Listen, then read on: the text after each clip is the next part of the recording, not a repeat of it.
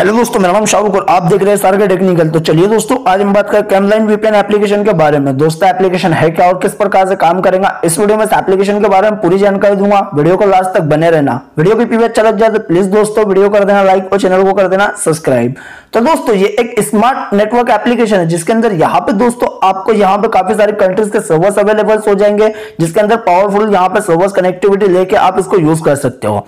जिसके अंदर multi supported language available है दोस्तों, कोई भी कंट्रीज़ के लैंग्वेज में अवेलेबल है, आप यूज़ कर सकते हैं इसको अलग अलग कंट्रीज़ के लैंग्वेज के अंदर।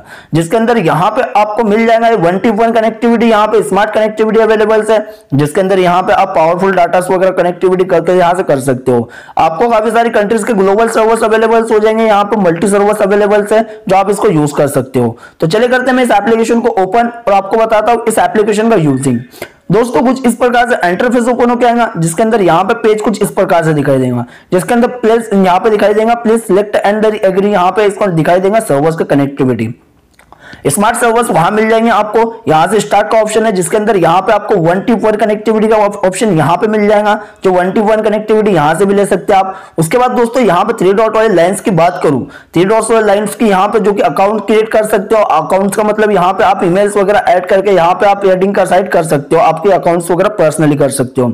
उसके बाद दोस्तों, यहाँ पे पर्सनल सेटिंग की बात करूँ। नोटिफिकेशन का option available auto connectivity on करना है तो आपको ऑटो कनेक्टिविटी ऑन भी कर सकते हो। मल्टी लैंग्वेज सपोर्टेड यहाँ पे सिस्टम का ऑप्शन दिखा है, जिसके अंदर यहाँ पे आप सिलेक्ट देख सकते हैं, आप कितनी सारी कंट्रीज़ के लैंग्वेज नीचे आप देख सकते हैं, यहाँ पे मैं इसको सोटअप कर रहा हूँ, यहाँ पे आप कर सकते हो। कोई भी कंट्रीज़ की लैंग्वेज को सिलेक्ट कर सकते हो।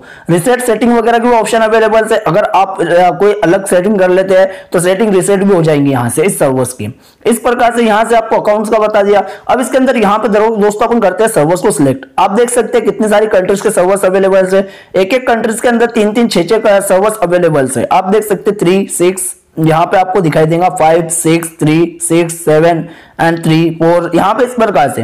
अब एक कंट्रीज़ के सर्वर्स को अपन किसी भी सर्वर्स को कनेक्टिविटी पे ले लेते हैं। देख सकते हैं राउंड ऑफ़ हो चुका है, यहाँ पे कनेक्टिविटी ऑन हो चुकी है, यहाँ पे इस प्रकार से दिखाई देगा आपको बैक लेना है। सॉरी यहाँ पे जो कि आपको दिखाई देगा इसके अंदर दोस्तों आपको प्राइम लेना पड़ेगा, जिसके अंदर सेवन डे यहाँ पे आपको फ्री में अवेलेबल होगा ये। फ्री में अवेलेबल होने के लिए सेवन डे यहाँ पे इसको आपको सेवन डे के लिए सिलेक्ट कर लेना है यहाँ पे। इस प्रकार से देखना है, इसके अंदर कुछ कंट्रीज़ के सर्वर्स को यहाँ पे आप कर सकते हैं यूज़ इस प्रकार से यहाँ से आप कनेक्टिविटी ले लेंगे। कनेक्टिविटी लेने के लिए यहाँ पे आपको दिखाई देगा सर्वर्स यहाँ पे seven day free seven day free की यूज़ कर सकते हो। प्राइम लेने के लिए ऊपर की साइड दिखाई देंगे आपको इस प्रकार से, जिसके अंदर जहाँ पे डाटा प्राइम वगैरह आप ले सकते हैं। सेवन डे फ्री में यूज़ करने के बाद यहाँ पे वन ईयर का भी यहाँ पे आप ले सकते हैं। या फिर मंथ का या ले सकते हैं वीक का ले सकते हैं, इस प्रकार से किसी भी एक चीज़ का ले सकते हैं प्राइम और एक यूजिंग साइट होगी तो उसके बाद सेकंड प्राइम ले सकते हैं।